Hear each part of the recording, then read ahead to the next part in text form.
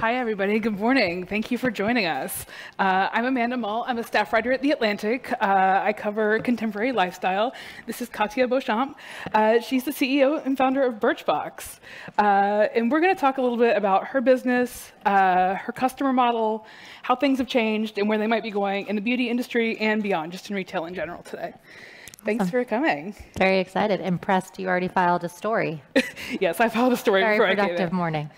Journalism must go on. so in 2010, you and your co-founder founded Birchbox.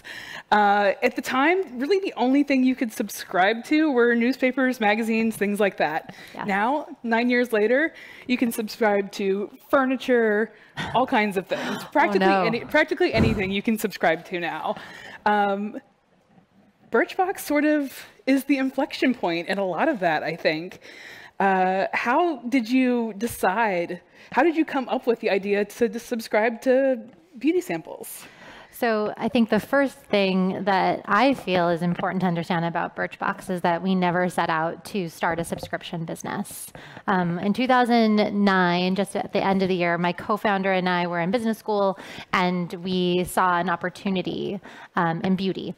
Basically, we were shocked to see that in 2009, almost 2010, less than 3% of beauty was sold on the internet. And we were like, that seems like an opportunity. Um, it seems like more people are obviously going there to write about beauty, to review, you know, look for reviews, look at content, but the purchase wasn't happening. And we got curious about why.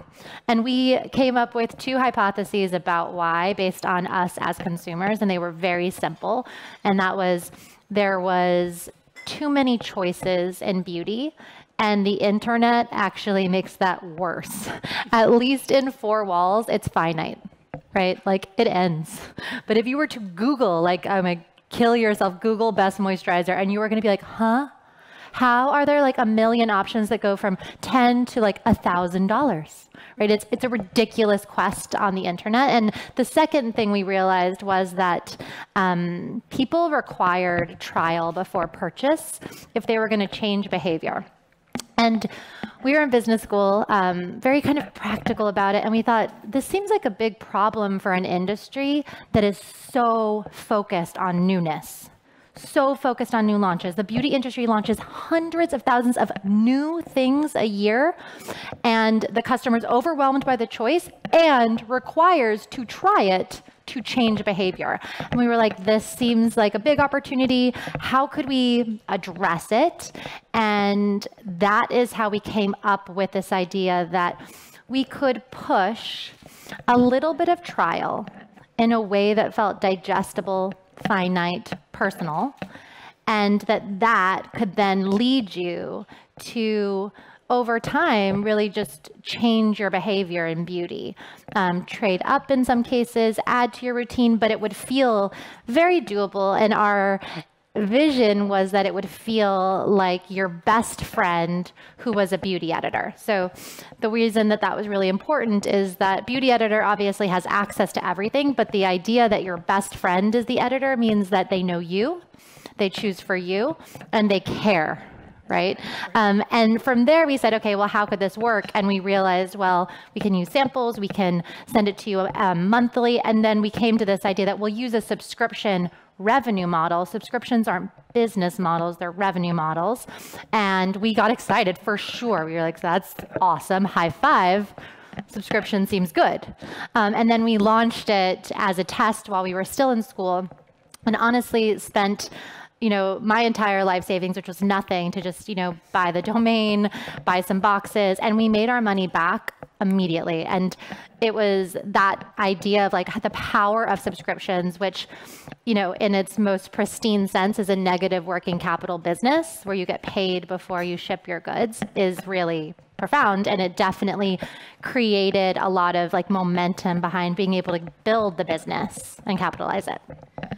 One of the things your company does really well is serve customers who are interested but not like addicted to uh, trying new things, trying new beauty products, yeah. things like that. Yeah. It provides a mode of discovery. Yeah. Uh, the beauty industry existed for decades, forever before before you came along to try and target those customers. Yes. Why do you think they were overlooked for so long? Um, so just to clarify, the beauty industry is focused on the consumers who love beauty the obsessed consumers, maybe going down to people who are very excited. So 20% of the market the beauty industry really focuses on and focuses on inspiring that customer, creating product for that customer, creating retail experiences for that customer. And the rest of us are just invited to partake in this when they're it's not our value system, right? But I think the reason is really simple and logical. If you go back decades, um, you had, you know, four channels on television. Like first there's radio, then we have TV. There's four channels. There's, you know, you basically have everybody watching the same thing and you can advertise to this consumer. And of course you're going to choose to talk about, you know, talk to you about your industry and about your product to consumers who love it. Now, fast forward to today, um, we are able to just be very nuanced and thinking about who a target customer is. And when we started Birchbox, my co-founder and I were just women who did not obsess about beauty would never have read a beauty magazine used it but just felt kind of perplexed by why it felt hard to feel good using it. Like it felt like we were buying things that were a waste of time or too expensive and we didn't love it. And we thought that was ridiculous um, and that was you know the early days of birchbox in 2010 but in 2014 we looked at the industry because we were industry outsiders. She was a consultant i was in finance and we saw something that should have been obvious, but it was a really profound moment for us, which is every beauty retailer is focused on this customer who's obsessed, you know, the Sephora's, the Ultas, and that customer represents the majority of their revenue. Now, we were focused on our problem, you know, ourselves, our value system in beauty. And we were far over indexing in women who were fine to apathetic about beauty. And they would come to Birchbox kind of skeptical and then double their spend in the category within a year. And for us, that just became really interesting. We were both economics majors, and we were like, you know, we're so much more intrigued by the idea of growing a pie than taking our slice. It just seemed more interesting. And it's hard because our customer is, by definition, less interested in beauty. Right. How know? do you find not looking? How do you find people that are by definition just less engaged, le- not looking for you? You talk to them the way that I think um, we all hope to be talked to. You know, I'm less interested in beauty, and and all of you have your different things that you're passionate about and different things that you're less interested in. But here's what I think, and here's what I think resonates with consumers. If it's a discretionary spend, it should be joyful. You don't need it right? And so it's ridiculous to think that for 70% of the market who are buying beauty, so this customer, the casual consumer, uses 11 different products in a daily routine she still buys it, right? There's a lot of stuff to do. Um, but she is not buying it with joy. She's not buying it with passion, but she's definitely purchasing. And for that consumer, this idea that her, you know, dollars are no one's priority is ridiculous. And I think starting to talk about, you know, even if you don't love the industry, you still deserve to feel smart when you buy it and feel like excited to use it. You don't have to just be resigned to the product graveyard or doing what most of our customers say. They've been doing the same thing since they were like 12 or 18 you know? I mean they're in their 40s now. They're they're like i still use the same thing my mom took me to the beauty counter to get. And so i our vision is like you know we can take the work out and then you can have this experience of discovery that really honors your values and really, you know, speaks to how you want to participate. And I think in short, I mean, it's tricky is the answer. But in short, we just try to tell this story in a variety of ways. And our vision is to be at this intersection of utility and delight, but to remember all the time that we are defining delight for our customer. So delight for a customer who's not obsessed for, with beauty. And that's very different because every time, you know, I go to different talks about beauty and beauty conferences, the way that everyone talks is as though every customer wants to look a certain way, right? Like everyone loves this idea of being totally made over and very much learning how to shape your face and contour. But my experience is that most of us are just trying to get out of the door and look like decent. And and actually, I think most of us want to look like ourselves. You know, I don't think most women are like, all I want to do is transform. So from this angle, you might think I'm a celebrity. most of us are just like, we, we're fine. You know, right. we just want to look a little more awake. We want to look, you know, like we feel our best self. Um, so I think just trying to have that conversation and say like, you are awesome. You deserve to be someone's priority. We've chosen to take this on. Right. A small programming note. In about five minutes, we're going to go to audience questions. So please be thinking of them now. Uh, and please, when it's your turn, keep them short and ask them in the form of the question. Pretend we're on Jeopardy. do I have to say what is? yes, please. Okay. Um, we're just yeah. going to do that for the rest of the talk here. Um, so now I'm interested. You started your company in 2010, and then pretty soon after that emerged the twin behemoths of YouTube and Instagram. Yeah. and those. What did we do before that? I can barely remember. Um, I'm going to say something controversial. Yeah. I've been off of Instagram for six months. Yeah? How do you feel? It's a good life. it's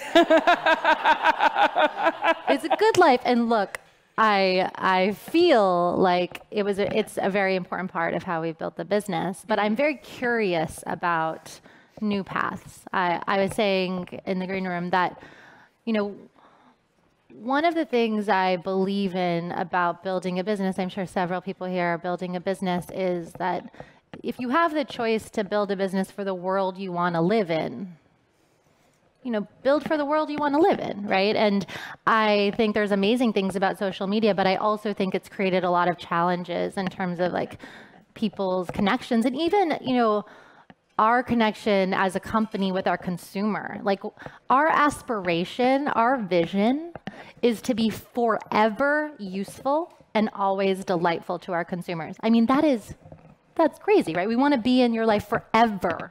That is what we're saying. And this idea that we have, you know, 0.02 seconds to get your attention on social media and to like try to build this connection feels challenging. And and I thought, you know, I'm kind of I've never been super excited about creating connections there. And I'm curious about whether if I come off, it will help me feel more creative and thoughtful about what's coming next. You know what's happening with how consumers are trying to build those connections. Obviously my team's still very much there. We're still doing a lot in social but i said you know something is happening. I'm not alone in thinking that people are you know kind of overwhelmed by the amount of information coming at us and as a company who wants to build a relationship with you i need to be tuned into that and thinking about well what's the next way because it is getting harder and harder and extremely expensive, as you all know. As far as sales go, there's online and then there's still brick and mortar, which uh-huh. people are tr- still trying to figure out how to do. The retail landscape has changed so much in the past 10 years. Uh, you guys tried retail stores for a little while. You decided to exit that market, and now you've started a new partnership with Walgreens. Yeah.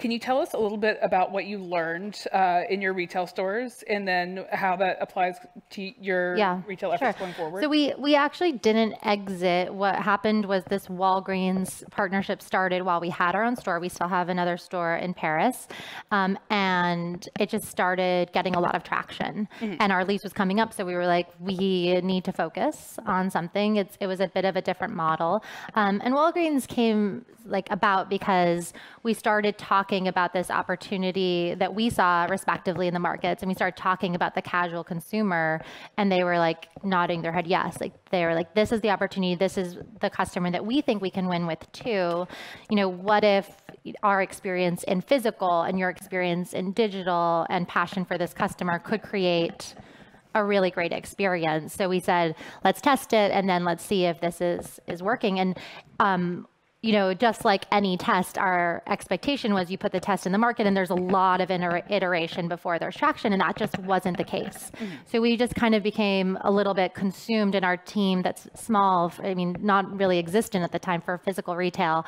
was consumed by it. And we said, let's focus on it because we're so meaningfully changing sales in that channel for, you know, prestige beauty. And now we want to know could physical retail be a channel for acquisition for the subscription? So we put a lot of energy now into training um, for sales associates to talk about a subscription, which is different. Um, so far, you know, we've had some success early on, but we are just rolling it out now in 3,000 doors, where all of the sales associates will be trained to talk about and sell a subscription on a tablet. So we've you know just been really focused and curious and I think this idea of you know how do you have these real connections with consumers? How does that turn into customer acquisition? How does that become a big expansion of customer lifetime value and revenue? And then you know trying to go fully into that has been the game and I'm very I'm very interested in, in how this could affect the business and how it could really change our business mm-hmm. because the implications are really huge. I'm sure as everybody in this room knows, you know, if you're a primarily digital company, you're spending a lot of marketing dollars to acquire consumers. Um, but I think what's always felt you know weird about that for me is that if you tell somebody about Birchbox, if you just say, you know, our intention is for you to have joy in discovery and for you to feel it's efficient. And oh, by the way, you can get it for about $13 a month. Um, and you can have this experience of discovery that really feels personal and contained. I, I mean, nine out of 10 people are like, uh huh, yeah. So I was always like, well, why? are we spending so much money to convince people? It feels like there is a customer that's kind of readily available. And I think these conversations that are happening in stores are us understanding like is that the case and then can we get excited about investing more in the experience of engaging with the customer in store as well as the product and how that the product is the tool of customer acquisition and customer engagement and lifetime value so mm-hmm. i think it really gets to change where you spend your money on the p&l and that is super exciting to me as mm-hmm. as the market continues to change mm-hmm. Okay, we have time for one or two questions. Uh, the mic runners are coming around. I think there's some here. Oh. Hi, my name's Edward. I have a question about the sustainability practices at Birchbox. Uh, can you tell me a little bit about that, please? Yes. Um, so great question, and definitely something that we're continuing to look at for 2020. So today we make all of our, you know, the physical packaging of the product out of post-consumer waste, and everything is able to be recycled, and we do carbon offsets. Um, but tomorrow, the customer is definitely asking about options with less packaging, um, and we're very much excited and looking into that too. I think the beauty industry in general general, you're starting to see like slight um, inclinations towards like reusables, um, but it's still extremely new. Um, a world I want to live in, though, to that point. Uh, good morning. I wanted to, um, if you could speak a little bit about your uh, suppliers. Has your model changed uh, the manufacturing of products or who's oh, yes. in, the, in the game? Yes. So our partners are um, beauty brands, right? The brands that um, make all of the beauty products, many of which you know that are from the large companies like L'Oreal and Estee Lauder and LVMH. We also work with hundreds of small independent brands from all over the world. Um, and yes, I know we've had a big impact on how they think of coming to market. So prior to Birchbox, um, kind of the paradigm for coming to market was that you had to get shelf space. I don't know how many of you think about that, but it's kind of the big play in retail. There's this classic case in business school about the beer companies fighting for linear feet. Um, and so getting into shelves of major stores is how you start to get in front of customers before you have marketing dollars to do that. It's a huge inventory ask to create that kind of awareness this way, right? So to be in, you know, some some stores have thousands of doors. That is millions of dollars of inventory just to go to market and hopefully it sells, right? And so Birchbox is a very different um, proposition for brands who, especially brands that don't have that kind of capital and size, they're able to take dollars that would be used on various things in marketing um, and or inventory and start to turn it into samples that immediately come with, you know, on the other side, we purchase the full size product, right? So um, they can immediately understand the the value of acquiring a customer this way, but we're very much a partner in how you understand like the impact of it. Who is the customer that's interested? Is this product that you launch kind of a good what we think of as a gateway drug to your brand? Is this the right thing to sample? We consult on that too. So we give a view on what we think will be a good product from that perspective. Um, and the other piece of the industry that I know we've impacted because they love us so much are sample manufacturers. They've been exploding. um, there's a lot of new ones. And this is a whole new category um, that's just really grown because of Birchbox and other companies that use samples. Okay, unfortunately, we are out of time. Uh, thank you all for joining us. Katia, thank you for coming this Thank morning. you for having me. Uh, and I hope you guys enjoy the rest of the talks today.